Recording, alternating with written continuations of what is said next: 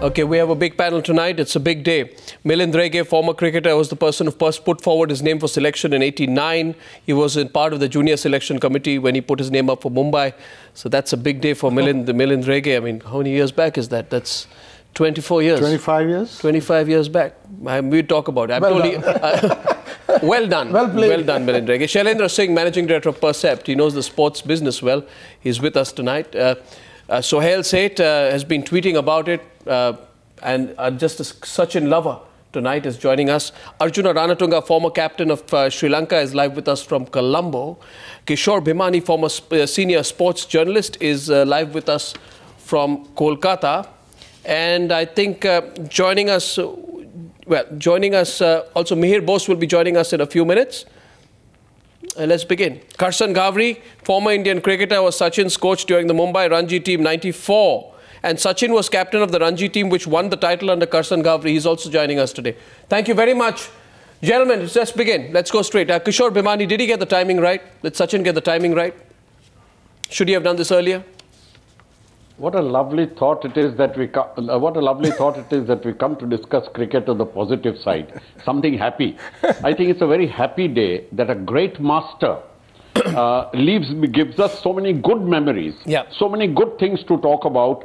You talk about the timing or not. All I'd like to say is I was among those minority of people who perhaps felt that 2011 would Yeah. have been the right time when he was right on top, brought back memories of Gavaskar who had left while he was absolutely on top. and Yep. I didn't, I agree, being a great Sachin admirer, I didn't want to hear from people, why doesn't he leave? He's had a great innings.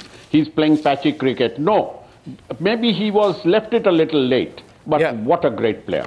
Yeah, absolutely. Uh, well, no, nothing's taking away from that. Uh, Arjuna Ranatunga, former captain of Sri Lanka, what do you think eventually uh, played on Sachin's mind when he took that decision? Mr. Ranatunga? I think uh, it's up to him to take those decisions. It's it's very difficult for outsiders to decide when a player should retire. Knowing Sachin for so many years, I know that uh, he will take that uh, right decision at the right time. I'm sure that we all should uh, appreciate that and acknowledge that uh, this great man has done a, a hu- uh, huge service for cricket in general, not only for Indian cricket. Rem- remember, it's not only for Indian cricket, the entire cricket in the world. And uh, when he decided uh, he should go, I'm sure that we all should appreciate that. No, but just see one second. This, let, let's, let's get it correct. You know, there's no taking away from, uh, from what he's achieved. I did say that to you as, as well. You know, there's no taking away. But you know, let's be very practical. Ricky, Ricky Ponting also, also retired under certain circumstances. And, and, and the question about a, a, a cricketer's retirement is not an illegitimate question. I mean, I'm sure there are certain circumstances which forced him to do a rethink. Now, Milind Rege, who's with me in the studio, Sachin called you today, by the way. Yeah, just Tell us about went- that phone call. When did you speak to I went on the show, previous one, Around 6.45. around 6.54 to be precise. Yeah. You know, because uh, he called me to say a big thank you to all that uh, some of us had helped him during his career. Uh, very nice of him, but I'm not surprised that, that he's done that because that's what Sachin is all about. He's appreciative of uh, what the what people have done for him. Yes, yes, he has a lot of regard for people, Yeah. and he's a very natural person. It's not that he's put on and things like No. that. Uh, coming back to the discussion that you Yeah, had we just- earlier, yeah. did he time it right? Yeah, did you time it right? I think, uh, if I know Sachin correctly, he's timed it perfectly. Because I think, I personally feel he thinks that it's the right time to go because he wasn't doing so well.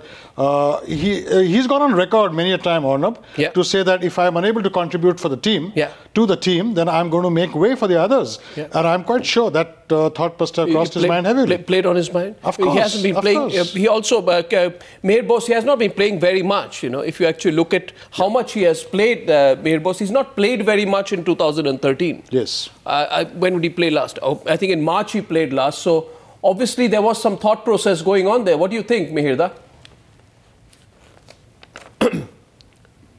Well, I was under the impression he would go to South Africa and retire uh, in, in South Africa. But I think, you know, a retirement of a cricketer, a retirement of any sportsman is that moment when he thinks that from, from now on his life is going to change. You're retired forever. And I remember talking to Michael Vaughan in the summer, the Ashes summer, and asking about Tendulkar. And he said, you know, at the end of the day, whatever Sachin has done, and he's done brilliantly, there's no question about it, he, after he retires, he still have to get up in the morning and wonder, uh, uh, what he's going to do. So presumably Sachin has worked out. I agree with Kishore that he might he should have probably retired in 2011. India were number one, they'd won the World Cup and so on, and maybe that was the moment to go. But who knows? You know, like Donald Bradman went in 1948 when the Australians were on top, you know, undefeated in England and so on. But you know, that sort of timing is very difficult because for a cricketer, and Milind would know this, um, having been himself a considerable cricketer, that once you leave the field, that's yeah. it. You know, after that, you go into the commentary box, go into politics, what you do, your life changes. But yeah, yeah, yeah, yeah, go ahead. Sorry, but yeah. Mihir, you know, nice talking to you, Mihir. The point is that if Sachin felt that he was still on top of his game, yeah. even in 2011, why would, why, why would anybody want to retire at the top? Why? What's his theory?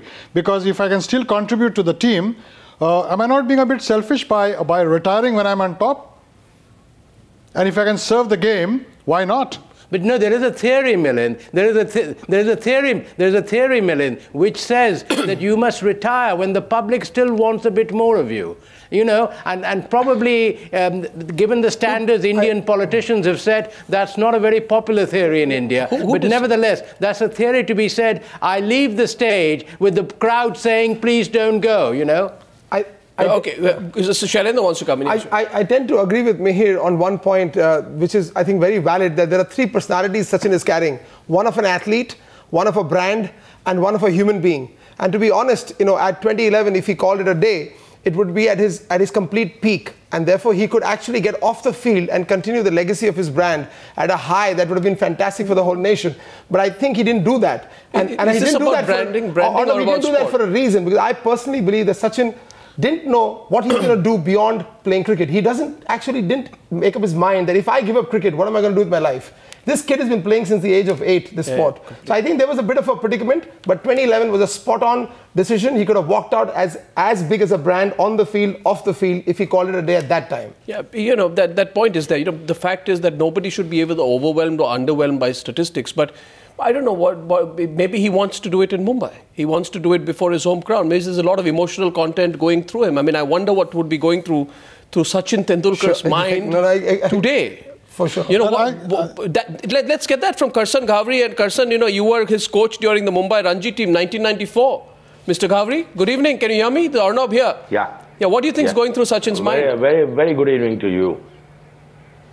Well, uh, uh, I, I, can tell you one thing, you know, uh, if, you know, Sachin personally has uh, decided that he wants to quit the game, and I think if when he has done it, it's the right time because uh, all this time, you know, for last uh, year or two, you know, a lot of people, a lot of media, you know, the various things have been uh, saying that, you know, he should retire, he should retire. But I, if he has decided to quit, uh, he, he, has, he has chosen the right moments.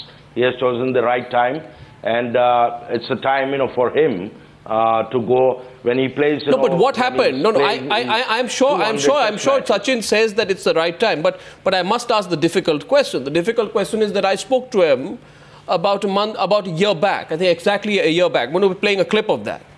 And as I said when I started the news hour, uh, yeah. Suhel, let me put that question to you. You know, I didn't find Sachin, when I was speaking to him, to be willing to talk much about retirement. Uh, it, there was a degree of discomfort when we were talking. It was 35 minutes when he talked about retirement. At the end of it, he says, you know, I'm going to have to answer in some other language. and, and, when I asked him, what are you going to do after retirement, there was a sense of emptiness. Exactly. Off the you know, so, so I wonder, like a lot of people feel today, See, boss, you know, that, that what, must, what happened I must tell you one thing. Yeah, yeah, yeah. You know, all all these times, uh, this uh, no, retirement thing has been going on uh, uh for a year or two, right? And uh, Sachin, uh, possibly, you know, it is playing in back of his mind. Yeah. You know, the kind of pressure he has taken for over 20 years, yeah. you know, that really never bothered him. But maybe, you know, this talk, you know, about his retirement, possibly it must be bothering him or something like that. But I, I, I personally feel, you know, it should not. And when he plays, you know, he's 200 in a test match, and if he scores a century uh, in a test match, yeah. and then the people of India, the cricket lovers of India, not only in India, but globally, yeah. like, you know, uh, they should come out, uh, जनता कहना चाहिए कि uh, no Sachin, no test match. no, I, I understand. No, nobody wants to be put in that situation. Uh, you know, I'm just comparing today the retirement decisions of Tendulkar and Ricky Ponting, the two batting greats of our time. Uh, Ponting retired soon after realizing that he'd been underperforming for a period of time. He even admitted to it, I think, at, at a press conference when he retired. You know, uh, now I, I, the question is being asked in the context of Sachin, and nobody's you know questioning what he has done. But the question is what really happened. Now I put that question. Uh, Suhel Seth, do you think he got the timing right? That's what we are talking about this evening. What do you think?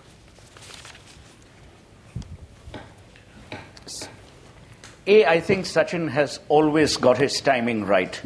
I don't think any one of us is in prime position to question the timing.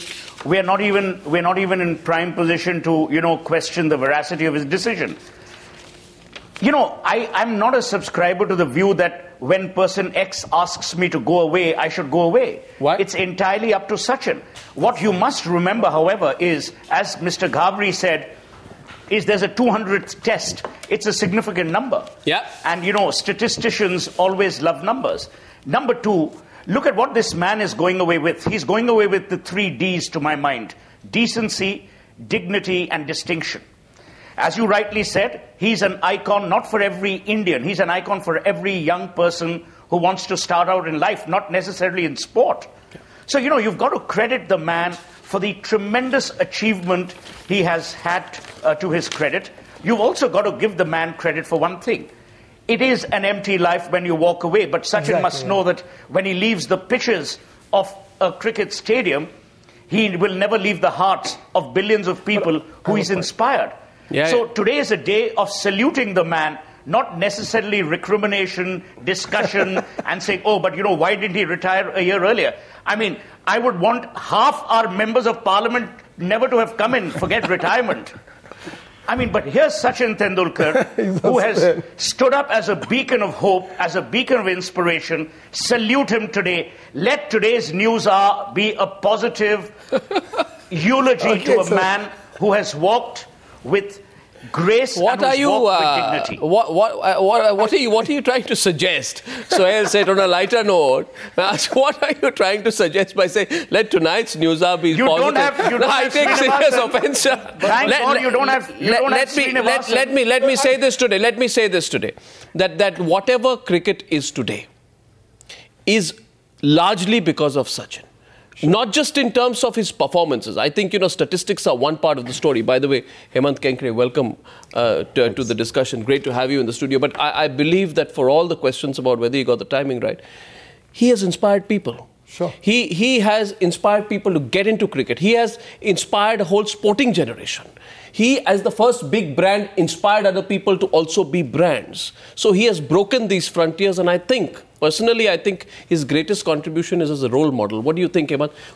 First of all, why don't you take us back, uh, you know, memory lane on your association with him and what comes to your mind today? Because how many years do you go back? Well, a long time. 28 and- almost. I, I would say 24 And tell me about the first association you had with Sachin. Well, basically, Mr. Achrekar, who was his coach, uh, Yes. asked me to give him a pair of pads that I had. Yeah. And those pads, as luck would have it, belonged to Sunil Gavaskar. And Wow. He had just do, given it to me.